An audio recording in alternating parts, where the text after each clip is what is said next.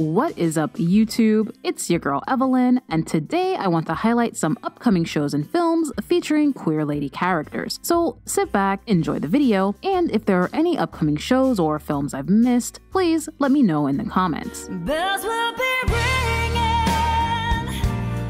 I know what you're thinking, and no, Christmas at the Ranch is not a Christmas themed porno from the 90s. Tello Films, your favorite lesbian holiday movie factory, is at it once again, and this time they've gone country. You're just gonna give up? Look, I have to make sure that my grandma has enough to retire, and selling will make that happen.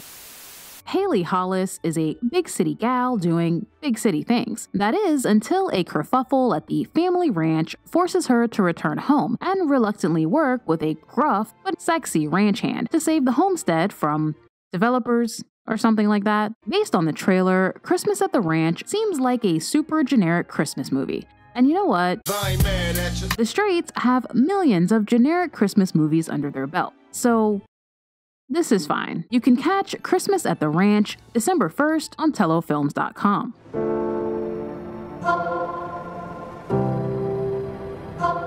Benedetta, the super erotic and kind of disturbing lesbian nun biopic, is finally here, and just in time for Christmas.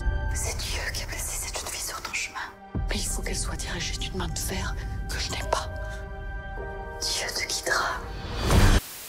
Based on the non-fiction book Immodest Acts, the life of a lesbian nun in Renaissance Italy. Benedetta tells the story of a 17th century nun who suffers from religious and erotic visions. And so far, my favorite thing about this film are the review titles on IMDb. Blue Nun is the warmest color. Nuns having sex. Fifty Shades of Prey. I don't want to say too much.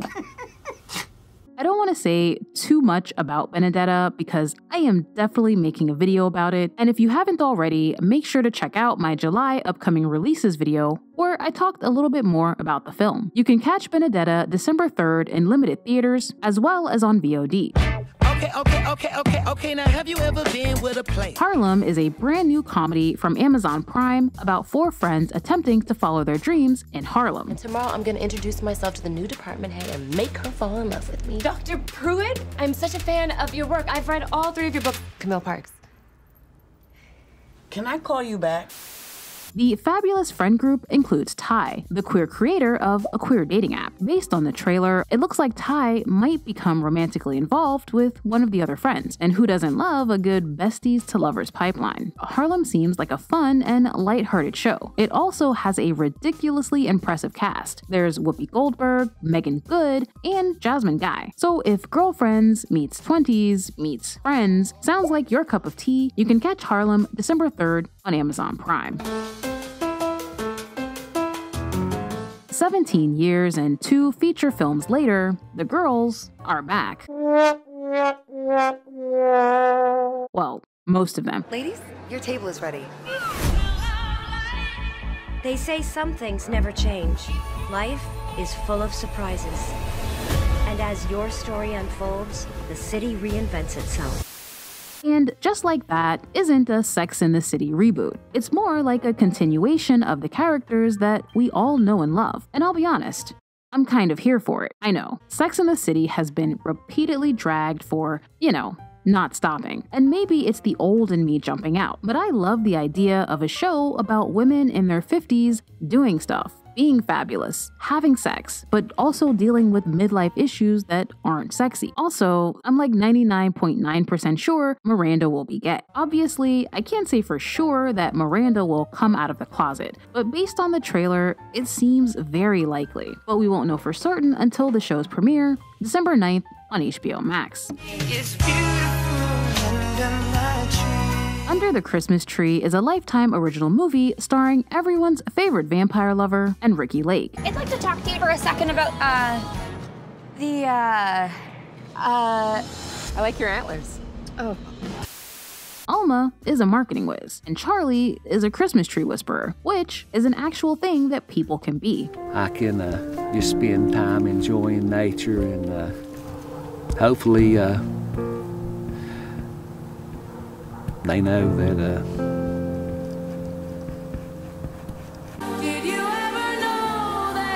Alma and Charlie cross paths for some reason or another, then they have a little enemies to lovers situation and probably save the town or a tree. I don't know. Ricki Lake plays a pastry making witch who helps Alma and Charlie eventually f- I assume. I am looking forward to unironically watching Under the Christmas Tree. I think it's gonna be a very cute, sweet, and festive movie. Not to mention, it's Lifetime, and y'all know your girl has an unhealthy obsession with Lifetime original movies. So if you're anything like me, you'll be tuning into Lifetime on December 19th to catch Under the Christmas Tree.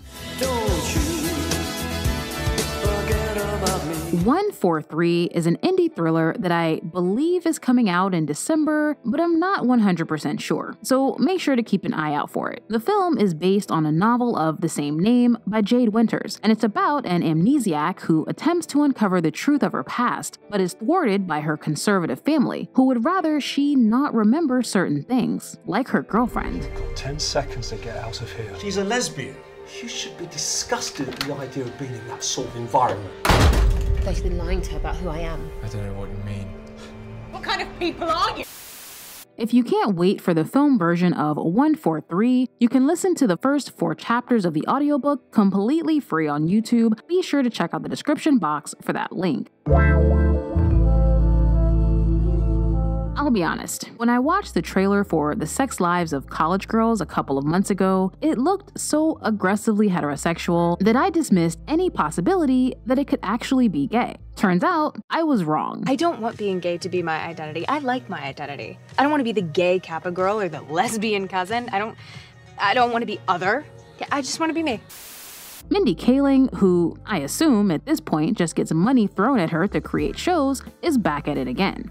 But this time, the girls are older and raunchier. And I didn't actually watch the show, but my fellow YouTuber Amanda Cosner made a great intro video about the sex lives of college girls and its gay characters. So if you're on the fence about the show, definitely check out Amanda's video. And for those of you already hooked on the show, be sure to check out my girl Ash's channel. She is actively covering every episode of the show, and you can find both of their channels linked in the description box of this video. The Sex Lives of College Girls is currently streaming on HBO Max. Bruised is an emotionally manipulative, gritty, Lifetime esque film, and I know, gritty and Lifetime typically don't go together, but trust me, they do in this case. I'm happy! You happy scrubbing toilets? That fulfills your purpose? We're strangers right now. But I'm all you got. Jackie Justice is a disgraced MMA fighter trying to overcome a tragic abusive childhood and a drinking problem, and an abusive live in boyfriend, and an estranged six year old suffering from PTSD that she had to give up when he was a baby, and now everything is on the line in a big prize fight she has to win to keep her child in. You, you get the picture. Bruised is your classic underdog flick, and when I started watching it, I had no idea it was gay. I was just watching it because I'm gay. So imagine my surprise when Halle, I mean Jackie, starts falling for her trainer. For those of you who are interested, I'll be doing a more in-depth review of Bruised later this week over on Patreon. Bruised is currently available to stream on Netflix.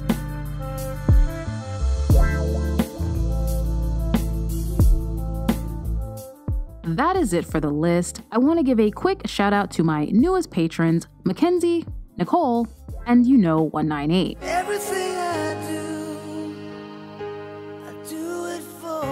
I also want to show some love to my big spender patrons, Angel and Citizen Ruth.